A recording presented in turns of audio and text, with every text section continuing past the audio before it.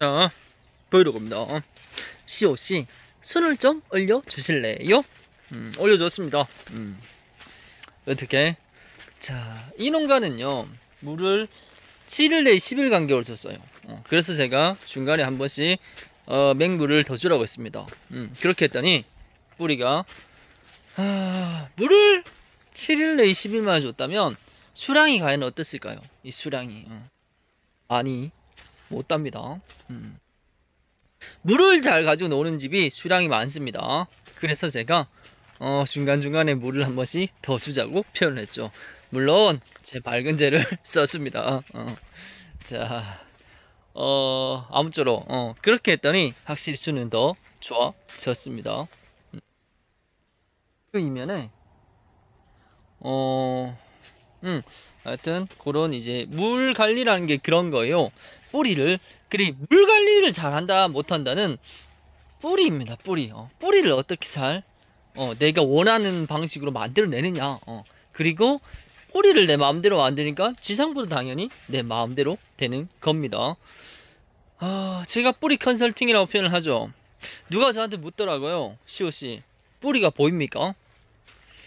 음, 작년까지는 안 보였어요. 근데 딱 보고 있으면 그러니까 유추가 돼요. 어, 예뿌리는 지금 어떨 것 같다. 어, 떤 식으로 형성이 되어 있을 것 같다. 그래서 물 관리를 어떤 식으로 하면 좋겠다. 그러니까 이런 생각은 듭니다. 음. 이게 유튜브 덕인 것 같아요. 유튜브는 저에게 음, 다시 한번 생각하는 계기를 준 것 같아. 자, 다들 표현하죠. 어, 농협비로는 구독자 1000명을 맞출 수가 없을 거라고. 하하하. 저도 그렇게 생각해요. 음. 근데 그것보다 더 값진 걸 얻었으니까 음, 음, 나에 대해서 좀 더 더 많이 생각하는 계기가 된 것 같아요. 그래서 저는 이런 표현을 해요. 유튜브를 아, 유튜브가 아니더라도 어, 동영상을 한 번씩 찍어보라고.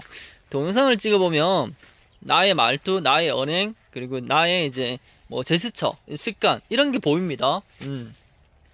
어 그런 걸 보면서 그런 걸 봤으면 당연히 장단이 나오겠죠.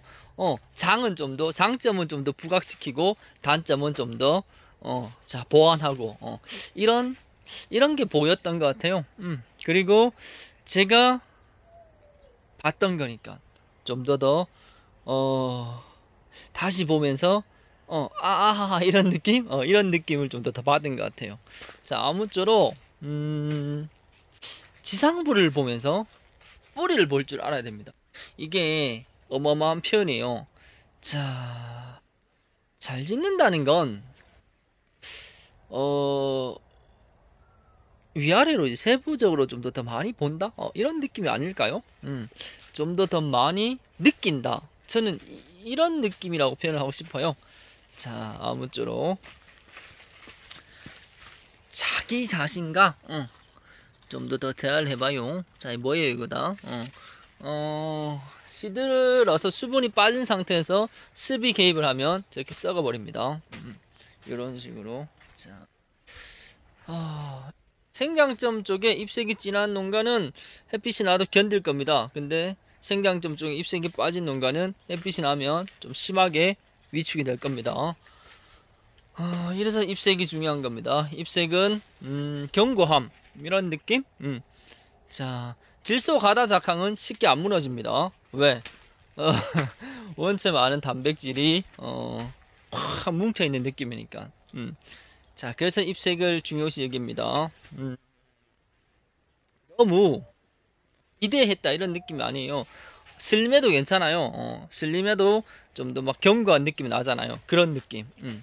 자, 항상 느낌에 대해서 좀 더 많이 생각하세요. 이거를 어, 이거를 보면서 일원화 시킨다는 건, 음, 그리 좀 다른 느낌이죠. 음, 자, 딱 뭐다라고 제가 정의를 못 해요. 하지만 많이 보고 많이 관찰하면 분명히 자기만이 정의가 생길 겁니다.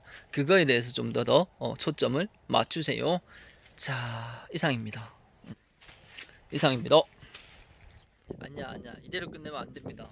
하우스 주의를 봐야 됩니다. 하우스 시설에 대해서